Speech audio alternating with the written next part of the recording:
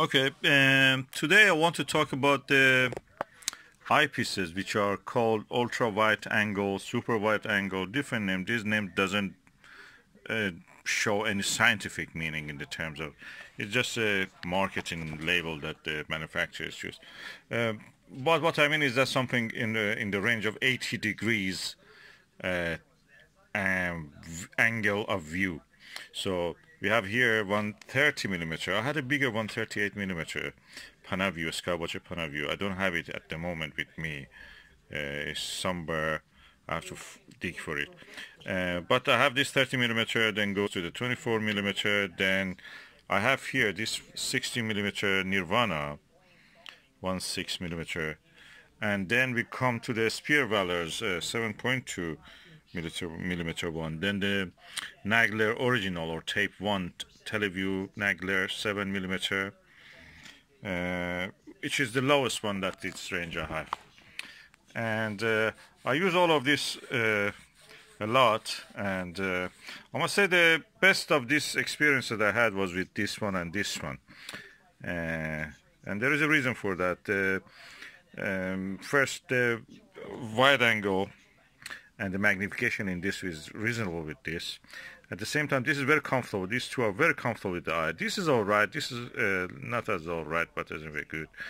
And this is also, I've not used it much, but uh, it's similar to this in a way because I have some 34 millimeter ones. 38 millimeter one was really good.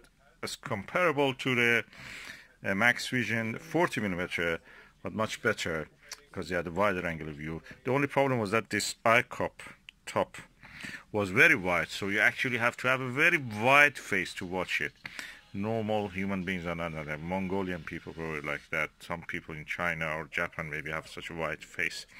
Uh, other people don't have that. For viewing it you really need a little bit break your bridge of nose just to accommodate the width of the eyepiece. The reason I prefer these things because what you see uh, in a normal Plössl for example eyepiece normal eyepieces that everybody has there are around 42 degrees field of view. Field of view is just a circle of the view that you can see. The bigger the circle of view, the less you see the body of the eyepiece itself. That means this is what is called a uh, spacewalk effect or porthole view effect. As if you're looking out of the window of a spacecraft and you don't see the actual window, you see the whole space around you. So in a low angle view you are looking through this hole and in a wide angle view the hole almost disappears the body of the eyepiece almost disappears. This is the experience you will have with this. Uh, even wider than this exists that's myriad and uh, Lunt and uh, explore scientific uh, and some of the ethos range of the TeleVue the ethos range of the TeleVue uh, eyepieces. They have 100 to 110 and uh, Explore Scientific has even 120 degrees, they're 3 inch uh, focuser ones, so you need a big tube uh, focuser for that. Normal telescopes don't have that thing. These are this is two inch one, this is two inch one, this is one and a quarter inch, one and a quarter inch, one and a quarter inch. The size of the draw tube that you put your eyepiece into it.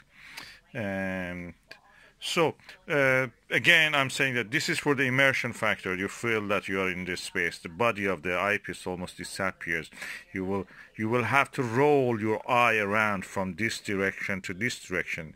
Uh, I've heard in the 100 millimeter, 100 degree ones is like that. You can roll your eye from this direction to this direction to see the whole field of view, as if you are looking through a window. Within the window, we do the same. We turn our head from left to right and see the different parts of the view that window is providing us. So with these eyepieces, such a view is made possible. The spacecraft, spaceship view, porthole of a spaceship or a ship, uh, and you're looking out of that to the space around you, to the star clusters, to the plates, to the double cluster in the Perseus, to the Andromeda galaxy, which is really a wide three and a half. If you if you could see as like a photometer, if you were as sensitive as a uh, photometer or a camera, you could actually see the whole width of the Andromeda galaxy, more than three and a half degrees, even up to five degrees I've heard. And that is because this is an enormous galaxy, and we are so close it, only 2 million light years away, uh, just around 19 times the diameter of the galaxy itself we can see. And it's it's, it's such a huge thing in the sky. It's, it's, it's almost um, eight times the width of the moon if we were sensitive enough to see all the widths of that.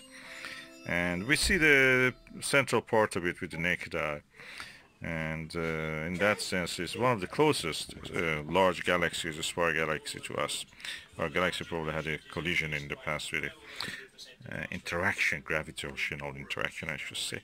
So this kind of eyepieces provide you with that, and I feel that uh, I can recommend this uh, uh if you can get it. The Explore Scientific has actually um, this version at uh, 50, 24, 82 degrees. This one, Nirvana, is one of the best eyepieces. It's so easy on the eye. When you look at uh, through this, just your eyes as if the muscles, the strained muscles, open up. Uh, this is not bad. I used it. I have a video about it. This is, of course, uh, so-so. I like it, but uh, it's not the best eyepiece too because uh, there is not enough eye relief. Eye relief is the distance that you are should be from the top part of the lens to see the whole picture. Uh, not as good as some of the eyepieces that like this one that I have. This is very comfortable. This is very comfortable. This is also very comfortable. And Panaview, that is the empty space here. It was here. I should put it here. I don't have it at the moment. Also is like that. Panaview is so big, the eye top of it, that uh, sometimes I feel that it doesn't fit for human face to look at it with one eye. You have to put two, your two eyes in front of it just to see the whole picture. It's very in a way it's uncomfortable. In a way it's also strange. You feel oh that's a nice experience. And um, yeah these are the 82 to 80 to 82 degrees um, um, eyepieces that I have. Uh, I mean future I, I wish I had something between 16 to 7 something like 13 millimeter one.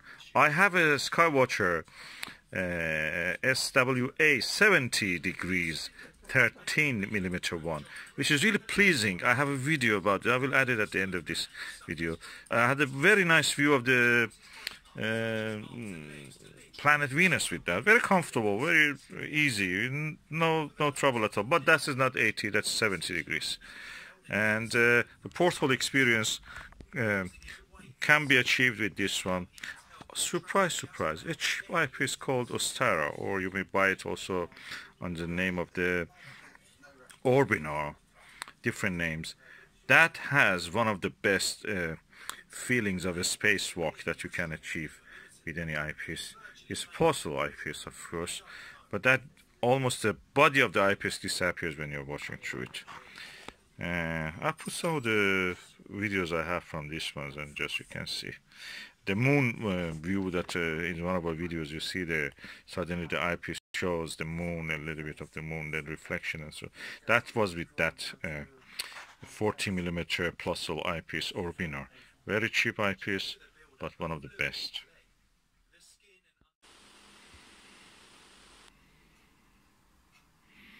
This is a planet Venus